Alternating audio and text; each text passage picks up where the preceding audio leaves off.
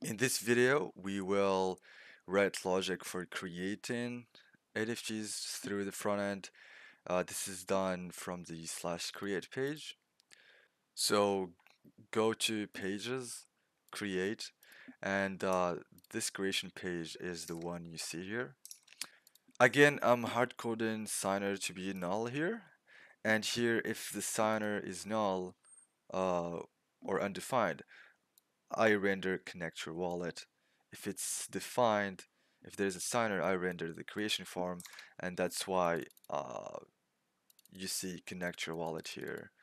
Uh, this is hard coded, so we have to grab it from the state. So use signer and as you can see, uh, because the signer is defined, we render the creation form component. Um, the creation form is this one, so you can enter a name for your uh, NFT, a description, and upload the NFT image. Um, if there's a missing field, you get an error here, so um, this is validated, so every field is required. Um, again, feel free to see the code here for this creation form, but all you have, all you need to know is that when you click the create button, this on submit callback is called with the values that were entered in the form. So for example, let's console.log the values here.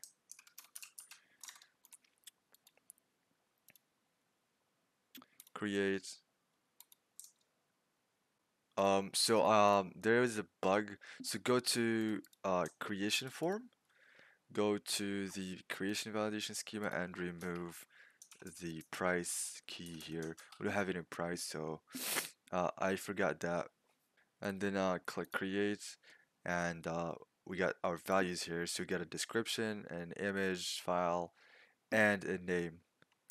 So what we want to do here is to get this metadata, this NFT information, upload it to IPFS, get that uh, upload URI and create a an NFT using that URI. And to upload token uh, NFT metadata, I'm gonna use NFT storage. So go to nft.storage, create an account, log in. Again, you should be able to do that pretty easily. And after logging in, go to API keys Again, I don't care. I'm just gonna expose my key here and go back to your .env file. Create a new uh, environment variable here.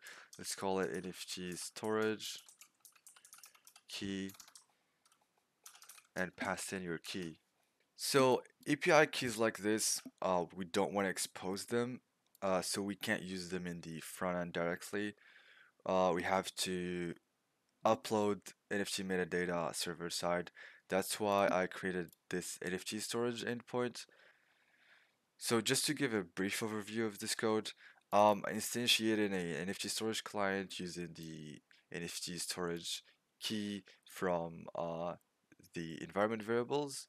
This is how uh, I parse the request body.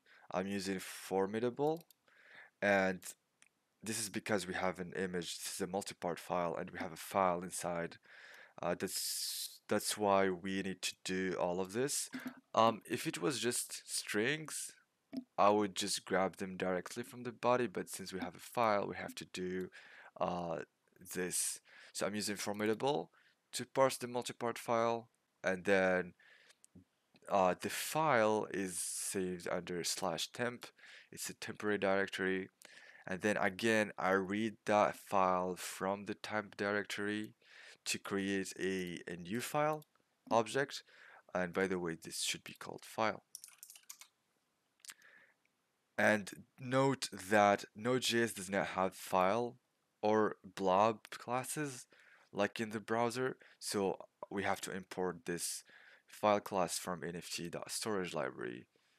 And after creating a file from the temporary image we call uh, client.store, passing in the name, the description, and uh, the file we just created. Uh, and this is how we upload the metadata to, to NFT storage. And after uploading, we delete the temporary file and then we return to one, which is the status code for created. And in the uh, response body, we return the URI, uh, which is the metadata.url. And one last thing, we need to disable body parser.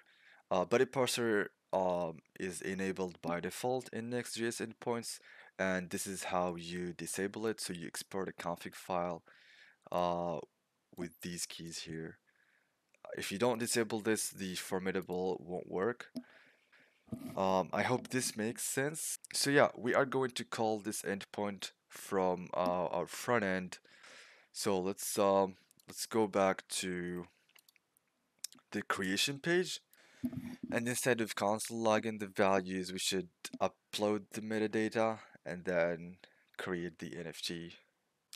So go to state folder, NFT market, and create uh, an index page, index.ts. So we're gonna use a hook which will have all the logic related to NFTs. Let's call this hook uh, use NFT market and let's export it.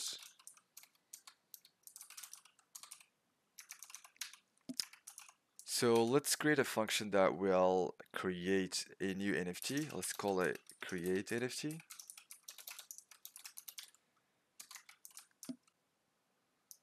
It's gonna take values of type creation values and uh, this uh, interface is in the creation form so it has a name description and an image so let's go ahead and call the NFT storage endpoint first let's create a data object it's gonna be a form data let's append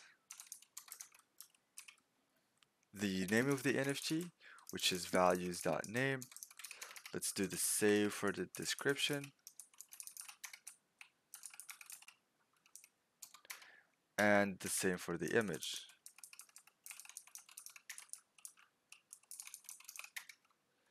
Um, this complains because image can be undefined, but we're pretty sure that it won't be undefined here. So we can just um, add the exclamation mark here. Now let's call the endpoint, so const response. I'm just gonna use the native fetch function here. We're gonna call slash API slash NFT storage uh, slash API slash NFT storage. That's the name of the uh, the path of the endpoint. Now the method is gonna be post and the body is gonna be data and this should be this should have a wait here so this should also be async now if the response dot status equals 201 uh, that's the status we return if everything goes smoothly then we can get the JSON so JSON equals wait response dot JSON and for now let's just console.log token URI json.uri. Uh, this URI that we return in the JSON.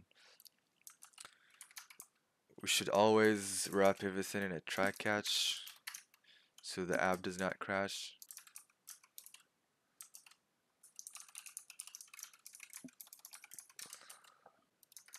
Now let's return an object with the create NFT function.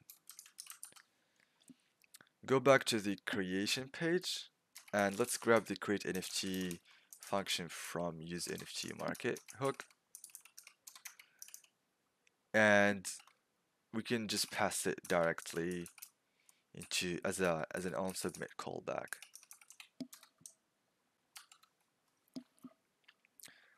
Let's go back to the application and let's try to upload some token metadata. It fails with 400. Um, let's check the logs. No such file or directory. Oh, uh, we should probably create a temp folder. So in the root of the project, create a new folder and call it temp. Go back, retry. Um, so I just restarted the server here and uh, retried again and it's working. So click in create NFT will print the token URI here. So this should be working. Now all that's left to do is to call the create NFT function from the deployed contract, pass in the token URI. So let's go ahead and do that.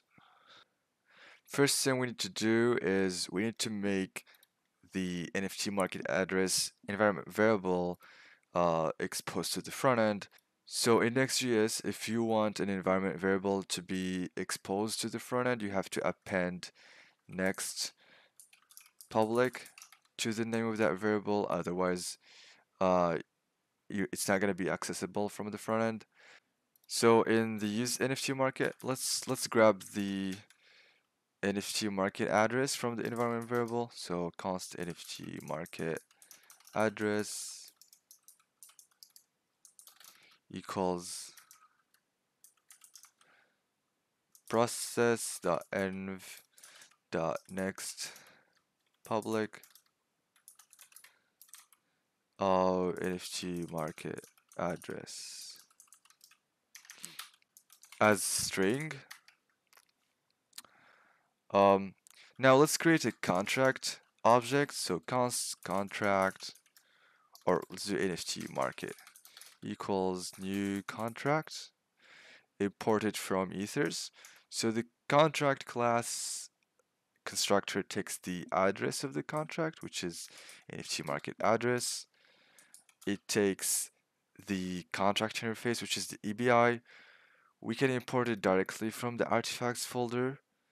We don't have one yet, so let's run npx hardhat compile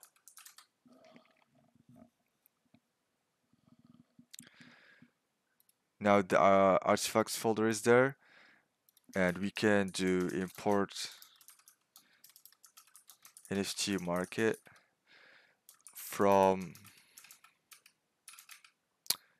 artifact slash contract slash NFT market dot slash NFT market dot JSON and we can use NFT market dot ABI here.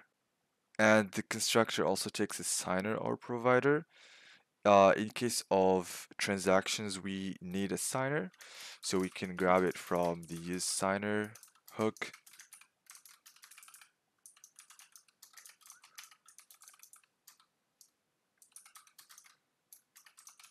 So all the transactions uh, will be signed by the current signer here. Now after creating the NFT market object, we can do the same stuff we did over and over in our tests here. So we can initiate a transaction by doing const transaction equals await NFT market dot create NFT passing in the token URI, which is the JSON dot URI. And this should be here. We can type this as transaction response, right? And then again, we can do await transaction dot wait to wait for it to be mined.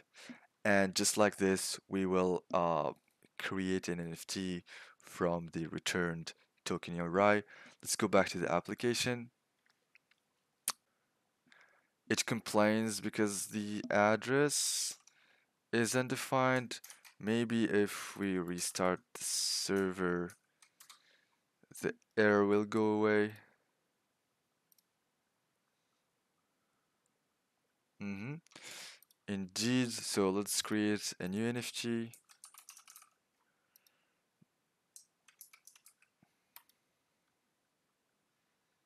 So the NFT metadata was uploaded and using the returned URI we called nftmarket.createNFT which resulted in this MetaMask pop-up. Now let's click confirm and wait for it. It's still loading here. And uh, boom, it's mined. We just created our first NFT. Um, there's no way to fetch owned NFTs yet. So that's what we are going to do in the next video. See you guys then.